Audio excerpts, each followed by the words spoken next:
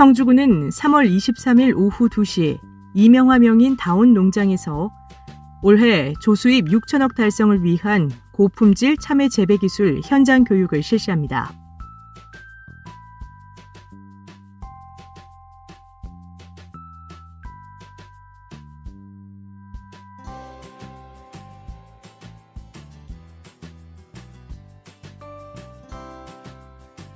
참외 재배 경영과정 교육생 30명이 참석하는 이번 교육은 이명화 명인의 고품질 참외 재배 기술 이론 및 현장 교육, 소면적 경운 재배, 장목반 공동 출하 시스템 운영 등 이론과 현장 실습이 병행해 진행됩니다.